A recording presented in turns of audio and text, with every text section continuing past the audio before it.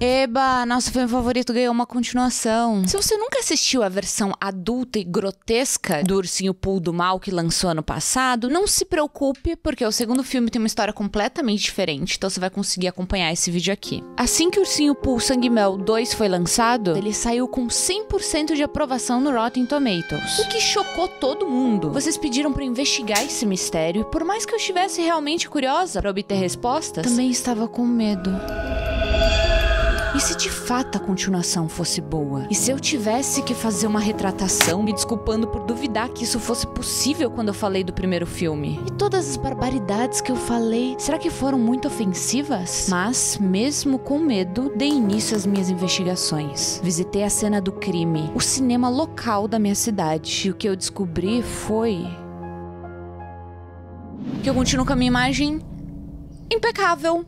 Que eu estou com a consciência limpa. Não é hoje que vocês vão me ver fazendo um pedido de desculpa. Ursinho Pooh Sangue Mel 2 é horroroso. E o Rotten de hoje concorda comigo. Mas não a audiência, né? Que que é isso? 80%. Que o primeiro filme foi mal feito, todo mundo já sabe incluindo eles. Tanto que nesse segundo, eles tentaram se livrar do primeiro de uma maneira bem tosca. Para ficar mais fácil de entender, eu vou usar a saga Pânico pra gente ter de comparação. Em Pânico 1, os adolescentes são atacados pelo Ghostface, certo? E aí em Pânico 2, eles fazem um filme sobre esses acontecimentos que chama Facada. É um filme dentro de um filme. Então é isso que eles fazem com Ursinho Pool 2, mais ou menos. Aqui o Christopher Robin, que é o protagonista, foi realmente atacado por criaturas meio humanas, meio animais no passado. E de fato rolou todo aquele massacre na floresta que a gente viu no 1. Só que aí a história dele ficou tão famosa que resolveram fazer um filme trash sobre o caso. Como Facada em Pânico. E aí Ursinho Pooh Sangue Mel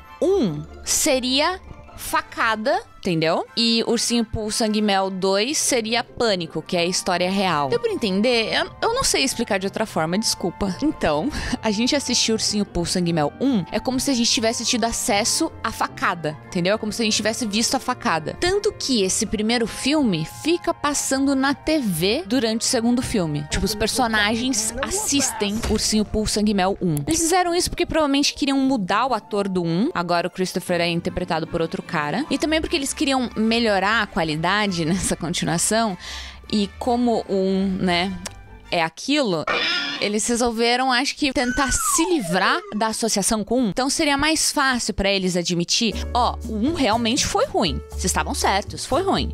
Mas a gente não tem nada a ver com ele, porque um foi de zoeira. Eu não tenho nada a ver com a saga. foi só uma zoeirinha. Era um filme trash dentro da nossa saga séria. Ela é muito séria. Não tá levando a sério por quê? O problema é que se levar a sério não foi uma boa ideia para esse filme, porque a premissa é horrível. Tudo que gira em torno dela é idiota, faltou um pouquinho de autocrítica para eles entenderem que esses são eles. Entende que você é tosco e admite. Eu rio do começo ao fim porque é tudo uma bosta, aí fica engraçado. A questão é que não foi uma risada boa, foi uma risada com intenções de bullying. Não era uma risada boa, era uma risada má. Se eles tivessem investido na comédia de propósito, o filme seria hilário. E aí eu estaria rindo com eles. e não deles. Eles tentaram colocar um mistério sério na trama. O Christopher tentando descobrir o que aconteceu com umas crianças que desapareceram na cidade no passado. E podia ter sido uma boa forma de intrigar o público enquanto todo, sei lá, o gore, a violência, os assassinatos acontecem em segundo plano. Só que o roteiro é tão mal desenvolvido que fica bobo. Se é para ser ruim, então investe numa história muito doida e ridícula, como Velocipastor ou o Grinch do Mal. E assim, tem uma pomba humana gigante que voa. Aí não dá para levar a sério. Parem de se levar a sério. Um dos únicos pontos que foi muito elogiado nesse filme foi o aumento da qualidade das fantasias. Como o primeiro filme estourou, né? Porque eles não gastaram quase nada para fazer e ganharam milhões e milhões de dólares porque as pessoas adoram assistir coisa que elas odeiam. Eu sou culpada disso, eu sei. Agora eles estavam com mais grana para investir nessa parte técnica. Então, as máscaras, principalmente, ficaram bem mais realistas. Só que eu acho que isso foi um ponto negativo. Uhum. Nem isso eu vou dar para eles, porque eu quero me tornar a maior inimiga de ursinho por sangue mel. Eu não tenho muitas metas de vida, né? Se eu tô querendo me tornar inimiga de um filme. É. Talvez ter que repensar algumas coisas. Que repensar porra nenhuma, eu virei inimiga assim. Pra mim, deixar a máscara mais realista deixou eles ainda mais toscos. Tá? Porque parecia que eu tava assistindo Cats. Quando as criaturas se juntavam no covil de vilão delas, eu sentia que eu tava, sei lá, assistindo o um encontro de furries. Não tava legal. Agora, uma criatura que supostamente não é para ser humana, é para ser uma mistura de um humano e de um animal, mas que tem o corpo de um humano e o rosto coberto por uma máscara barata, que nem no 1, fica muito mais assustador. Exala uma energia de Michael Myers, de assaltante de banco. Toda vez que eles davam um zoom na cara realista do ursinho Pooh, eu pensava na Taylor Swift em Cats. Tava ridículo. Tenho mais medo deles do que dele. Olha esse ursinho que tem um canal aqui no YouTube. Ele usa a máscara lá do 1. Muito mais bizarro, vai. Quem são os personagens que a gente vai, né? acompanhar o ursinho Pooh, o leitão, a pomba e o tigrão. São quatro vilões, tá? Decore esse número, são quatro criaturas. Enfim, alguém aí, por acaso, associou eles imediatamente com os Vingadores? Não? Ah, tá. É que o diretor tá criando o Pooniverse, que seria o universo Ursinho Pooh. E a inspiração dele pro filme de hoje, para esse universo? Os Vingadores. E telefone preto. É sério, não tô zoando. Normalmente eu consigo ficar séria, né? Mas esse tá muito difícil. Vingadores e telefone preto. Tudo a ver. E vocês sempre me mandam DM falando que eu pareço um menino do telefone preto. Então, gente, vocês entendem que tá tudo conectado? Tá tudo conectado. É o universo do Ursinho Pooh, não tem jeito. O UP. Tá todo mundo inserido no UP. Então hoje a gente vai falar dos Vingadores que escaparam do zoológico.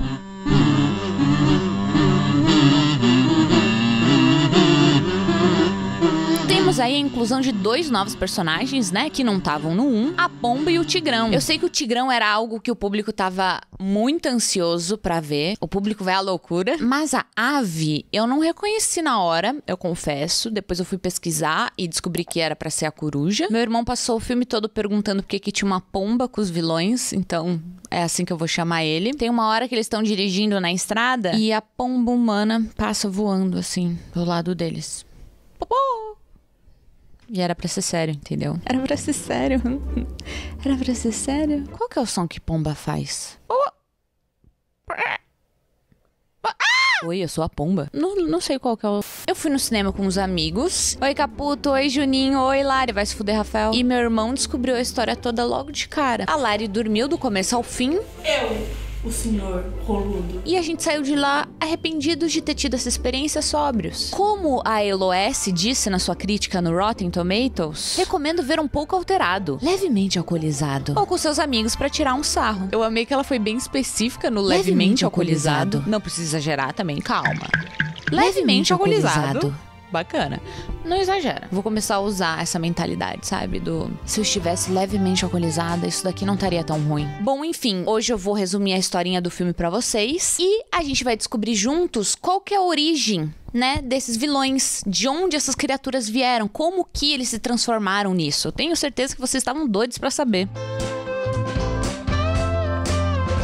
Filme começa com aquela clássica cena de abertura de terror, com mulheres aleatórias numa floresta sendo perseguidas pelo assassino. Eu confesso que a gente chegou atrasado na sessão, então na hora que a gente entrou no cinema, elas já estavam sem uns membros e meio queimadas. E aí eu não sei se teve peitinho gratuito que nem no primeiro filme. Essa é uma crítica que eu não posso fazer agora, que eu não posso opinar, porque eu não sei. Mulher pelada à toa no terror tá tão fora de moda, né? É tipo chapéu fedora no mundo fashion, sabe? Porque tem até gente que gosta, mas eu acho esquisito. Até vai ter nudez no filme mais pra frente. Em teus seios, ó liberdade. Mas pelo menos existe uma justificativa, porque vai ter uma festa de pelados mais pro final. Aí o povo ou tá pelado ou tá usando roupinha de cor apertada. Então tá dentro do contexto.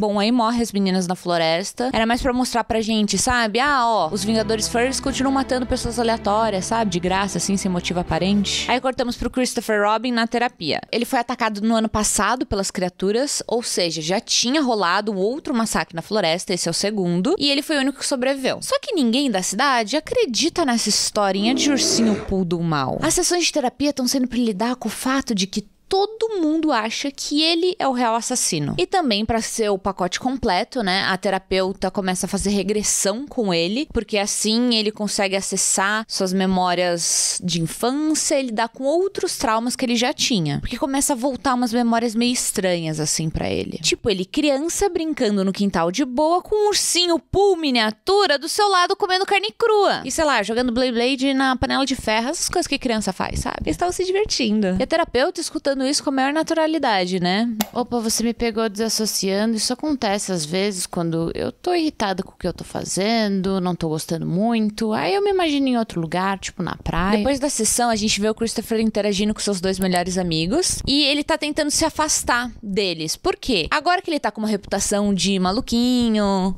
de possível assassino. Ele não quer que essa má imagem seja respingada nos amigos. Mas eles não estão nem aí, eles não deixam nada atrapalhar a amizade. Mesmo quando alguém picha assassino no carro do Christopher, eles não soltam a mão dele. Linda essa amizade. Mas não é sempre que o amor vence. O Christopher acaba sendo demitido injustamente do hospital que ele trabalha, que os pacientes não querem ser atendidos né, por alguém lá, lá, lá, que tem faminha de maluco. A única coisa que sobrou para ele é ficar se lamentando em casa, onde ele mora com os pais e com a irmã mais nova. Agora que ele tem bastante tempo livre e as memórias de infância estão voltando para ele assim aos poucos, ele resolve investigar o que aconteceu com o seu irmão gêmeo, o Billy. Numa das sessões com a terapeuta, ele lembra do dia que o seu irmão foi raptado. Era a festa de aniversário deles, eles deviam estar tá fazendo, não sei, vocês sabem que eu não sou muito boa com idade de criança. Eu não sei muito bem dizer a idade de criança. Ela podia ter de 1 a 12. Eu não posso dar para vocês números exatos. Vamos chutar que eles estavam fazendo entre 4 e 12 anos. E aí o Christopher e o Billy estavam dando um perdido na floresta quando um estranho aparece do nada e mete o Billy para dentro da sua van. O protagonista não consegue reconhecer quem era porque ele meio que apagou essa imagem da memória como se fosse uma forma de se proteger do trauma. Então, por enquanto, tudo que ele tem é uma imagem embaçada do rosto do sequestrador. E não só o Billy foi sequestrado na época, outras crianças também. Mais especificamente, quatro crianças foram sequestradas. Decore esse número, são quatro. Hum, onde que eu já ouvi essa quantidade quatro antes? Também aparece, casualmente, assim, no jornal da TV, sobre um médico que foi pego fazendo experimentos esquisitos. Ai, espero que não tenha nada a ver com as quatro crianças que desapareceram. Em paralelo a isso, né, em paralelo às investigações que o Christopher começa a fazer, os Vingadores Selvagens estão matando uns caçadores na floresta. Dois deles morrem. O terceiro sobrevive. É, a alma sobrevive, né? O corpo já foi, ele tá todo desfigurado. A boa notícia é que no meio da bagunça toda, um dos caçadores pá, atirou na fuça do leitão. Um dos vilões morre logo no começo do filme com a sua cabeça explodida. Isso foi bom. Isso foi bom. Eu não tava esperando.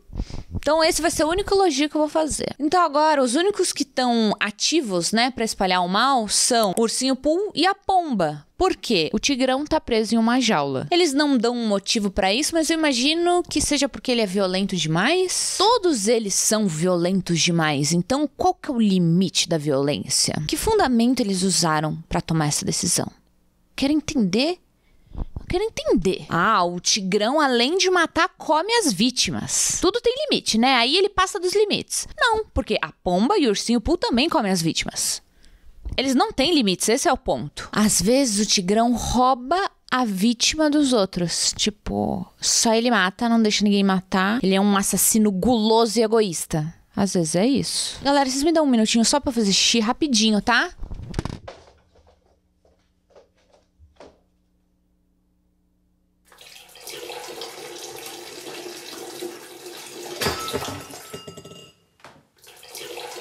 Enfim, tecnicamente, a gente ainda não sabe da existência do Tigrão, porque ele ainda não apareceu. Tudo que a gente viu foi a imagem de uma jaula e, tipo, um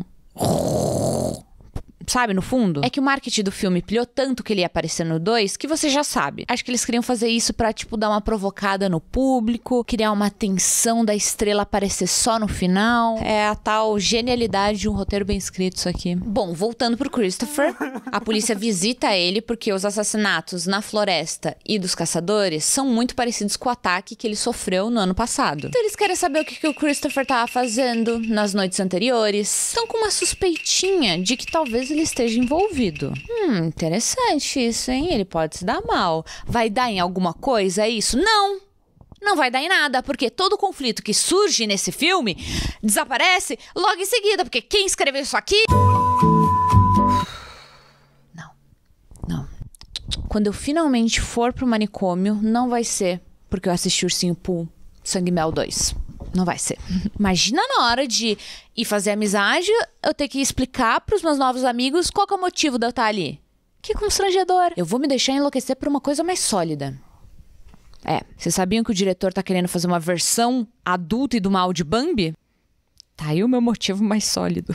Eu preciso me segurar até lá, entenderam? É, já saiu até teaser, sabiam? De um viado lançando um carro bem pro alto, apenas com a força dos seus chifres. O vídeo sobre esse filme vocês podem apostar que eu vou gravar do manicômio. Aí não vai ter jeito. Lá, lá, lá, lá, lá. Não, ainda não, não entrei lá ainda, calma. Tô em casa ainda, calma. Licença, eu vou retocar meu batom.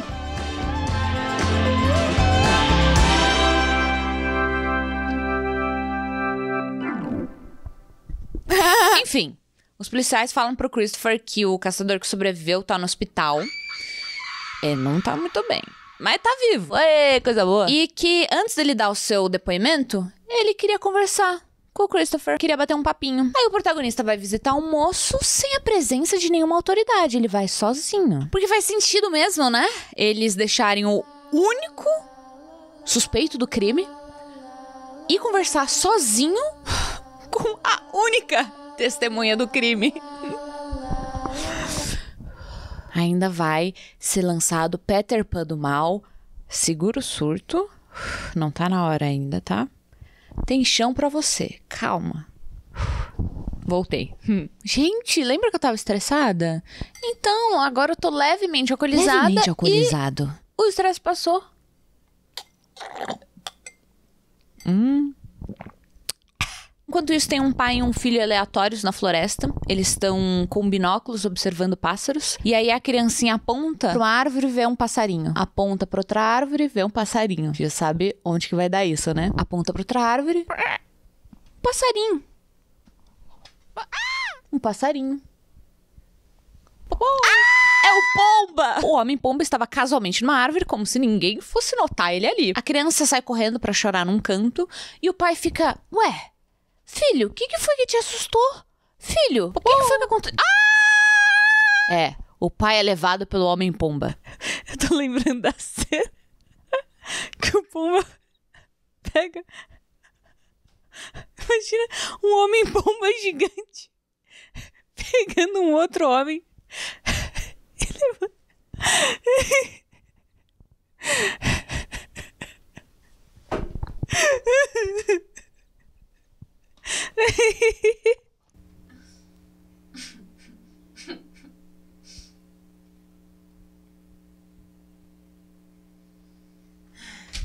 Fiz uma faculdade, sabe? Por que, que eu tô fazendo isso? Cenas como essa me fazem pensar que eles tentaram fazer esse filme ser uma comédia mesmo. Só que, como não tem nenhuma piada no roteiro, dá a sensação de que não era pra ser engraçada essa cena. Porque essa cena é engraçada.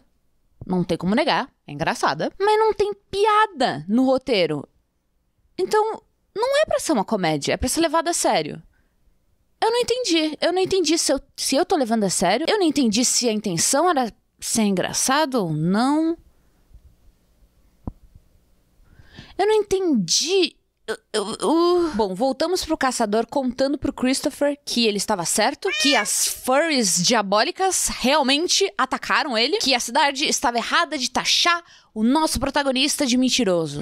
Estavam todos errados. O caçador também resolve tirar os curativos do rosto do nada. Só pra mostrar pro Christopher, ó, ó a minha cara, como ficou deformada. Por que que ele faz isso? Por que ele vai tirar os curativos que estavam segurando a pele dele na cara? Por quê? Qual, qual que é o sentido dele fazer isso? Qual que é, qual que é o sentido dele fazer isso? Calma, abraços. Eu sei que vocês estão se preparando pra camisa de força, mas a gente não tá lá ainda. Calma. Calma. Olha onde a gente tá. A gente tá na minha casa. Calma. O zelador do hospital passa pelo quarto da vítima, ele passa pela janela assim. Aí o Christopher olha pro rosto dele. Um flashback. A imagem do sequestrador desembaça. O zelador é o sequestrador do irmão gêmeo do Christopher. Uau. Chocante. Um zelador aleatório que apareceu pela primeira vez. Só podia ser ele. o protagonista não trabalhava nesse hospital até agora há pouco? E ele nunca tinha notado o zelador? Então tá bom. Em vez de alertar a polícia, o Christopher resolve fazer justiça com as próprias mãos e segue o zelador. Invade a casa dele. Ele chega com um cano na mão e fala: Me conta tudo, zelador, me conta tudo, eu te meto a porrada. E o zelador: Ah, tá bom. Eu conto. O Christopher continua. Eu sei que você guardou esse segredo por 15 anos, mas eu sou perigoso. Eu vou fazer você admitir que é um sequestrador de criança. Não é uma coisa fácil de admitir assim tão fácil, mas eu vou fazer você admitir por quê? Olha esse cano velho aqui na minha mão. Olha esse cano velho aqui. Você tem cara de alguém que não tomou a vacina do tétano. Vai querer arriscar? E o zelador, não, não, não, Christopher. Eu já falei, eu admito tudo. E o Christopher, ah, nossa, que fácil. então o zelador admite, é, Fui eu que sequestrei seu irmão, uma criança. Eu sequestrei a criança. Mas foi para pagar a dívida de jogo. Então, você entende, né? Sabe aquele médico que apareceu no começo? O médico apareceu lá no começo do filme, no jornal, que fazia aqueles experimentos. Então, ele chegou para mim e falou assim: pago todas as suas dívidas se você sequestrar umas crianças para mim. Aí eu fui na rua e selecionei algumas aleatoriamente. E coloquei na minha van. Foi isso. Só que aí eu descobri os planos do médico.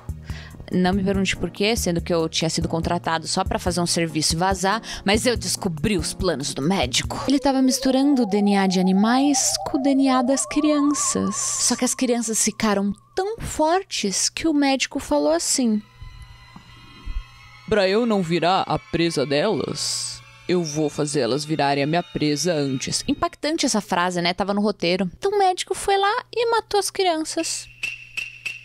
Eu, um sequestrador de crianças, não sou um assassino de crianças. É diferente. Depois de matar as crianças, ele vai lá e enterra o corpo delas na floresta. E eu estava na floresta, naquele dia, vi.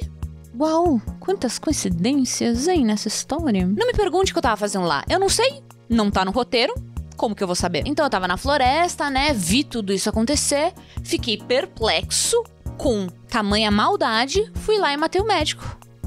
É, é isso mesmo. Além de admitir que eu sequestro crianças, eu também estou admitindo que eu sou um assassino. Hum. No dia seguinte, eu resolvi voltar na floresta e no lugar onde era para as crianças estarem enterradas, haviam quatro buracos. O Christopher vai e fala: ah, Alguém pegou os corpos das crianças. Então o zelador responde: Não, não, não, Christopher. Não, não, não. É algo muito pior.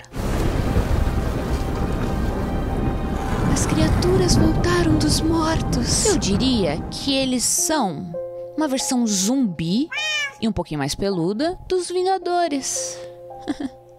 é, pode parecer estranho, né? Mas o diretor se inspirou em Telefone Preto para fazer esse filme. Você teria que assistir para entender. Tem tudo a ver.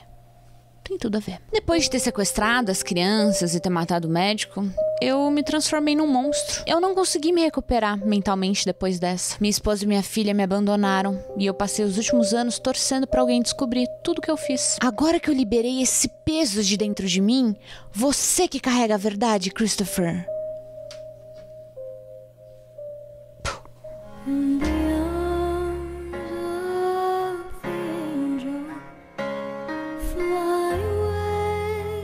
Uau, gostaram do meu monólogo? Emocionante, né? Me senti muito a Pearl agora. Enquanto o Christopher descobria tudo isso, o ursinho Pooh invadia sua casa e matava os seus pais. Que agora que a gente consegue ligar os pontos, também são os pais do ursinho Pooh. Porque ele é o Billy, ele é o irmão gêmeo do Christopher. Então ele matou os próprios pais. Porque é, o Billy é uma das crianças sequestradas, né? Teve o seu DNA alterado e se tornou o ursinho Pooh. Plot twist M. Night Shyamalan. Os pais são mortos, mas a irmãzinha mais nova do Christopher é poupada. O ursinho Pooh não mata ela, não sei porquê. Não há uma explicação. A gente pode fazer alguns chutes aí. Ela tava sempre com um ursinho que era do Billy quando ele era o Billy. E esse ursinho. É, não tá muito bem, não, viu? Uh, Arregaçada. não tá num ótimo estado, porque a menina abria ele, fazia umas costuras nele, tirava as espumas de dentro, fazia uns negócios que. Ai. Ai, eu já fiz isso também. Arregaçada. E eu aqui julgando os outros, né? Enfim, ia falar que a menina é meio maluquinha porque ela abriu o ursinho de pelúcia e fez os experimentos com ele. Assim, mas não vamos julgar, sabe? Não, não vamos julgar. Às vezes as pessoas são curiosas, entendeu? Não vamos julgar. Mas enfim, o ursinho Pooh pode ter visto nela, ó, uma mini psicopata. Não vou matar. Porque essa menina no futuro vai ser tão má quanto eu. E eu quero maldade nesse mundo. Pode ter sido isso. Ou pode ter sido porque ele viu no ursinho ele mesmo. Ai, eu também sou um ursinho remendado. E a menina cuida do ursinho remendado. Será que ela vai cuidar de mim? Não sei, podia, podia ter várias, várias explicações interessantes. O filme não se aprofunda, não toca no assunto, então o filme fala assim: eu não vou explicar. Faça você o trabalho mental de obter as suas próprias respostas. O melhor amigo do Christopher é morto nesse meio tempo, mas a melhor amiga consegue escapar do ataque. Só que o melhor amigo apareceu muito pouco. Então, quando a melhor amiga liga pro Christopher falando: Ó, oh, viu? O fim morreu. Ah. E os dois começam a chorar, eles estão super traumatizados, sensibilizados. O meu irmão no cinema começa a rir e dá uma cutucada em mim e fala: Viu? O cara aqui do meu lado Acabou de perguntar quem é Finn. quem é você, Finn? Enfim, por que, que a turminha do mal tá tentando matar os melhores amigos do Christopher? Pra se vingar dele? Eu acho que é pra se vingar dele. Eles não falam. Eles só começam a ir atrás dos amigos. Se eu estivesse levemente alcoolizada, isso daqui não estaria tão ruim. Não explica. Eles só começam a ir atrás dos amigos mesmo. Então, é o trabalho mental de descobrir essa charada tá com você de novo. Os policiais encontram o covil do mal e notam várias partes de corpo humano espalhadas pelo chão. E eles não sacam a arma deles. Tipo uma cabeça decapitada em cima da mesa não é motivo para você sacar a arma policial. Calma, a situação tá sob controle, a vítima já tá morta mesmo, por que se preocupar? Aí o tigrão escapa da jaula e mata todo mundo, mas ainda não conseguimos ver ele. Então a versão Animal Planet dos Vingadores invade uma festa de pelados pra matar todo mundo, porque eles queriam matar um monte de gente aleatória, porque não matar um monte de gente aleatória que também está pelada, não é mesmo? Christopher até tenta socorrer o povo, mas quando ele chega lá, era tarde demais. Todo mundo tinha morrido. Putz. Que pena. Voa, galera. A festa de pelados vai ter que continuar lá no céu. Festa de pelados combina mais com.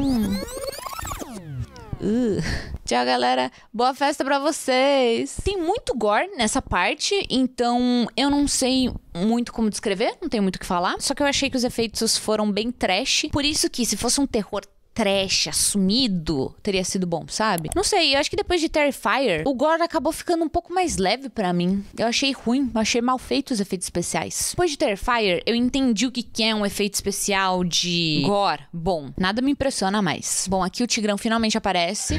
O Tigrão vai te ensinar. E realmente dá a sensação de que ele é um pouco mais maníaco que os outros. Só que ele também é muito fofinho, porque ele tem um rabinho que fica balançando. Oh, parece um gatinho. Ô, Tigrão, como você é fofinho, Tigrão. Olha esse rabinho. Aí é isso, né? Ele ataca todo mundo. Eu tô tentando encontrar aqui no trailer se tem alguma cena que mostra o que acontece. Ah! Não, não, que isso? Por favor, não, não, não, não, socorro, por favor, não. Ah,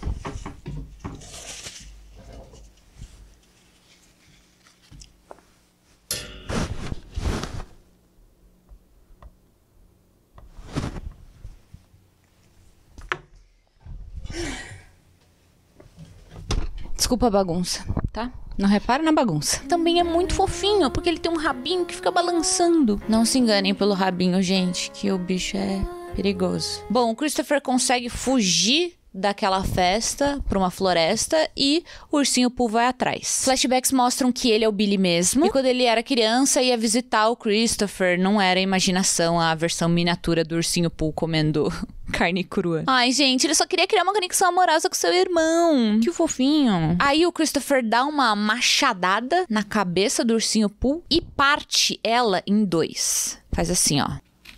Conexão amorosa é o caralho, fim de filme.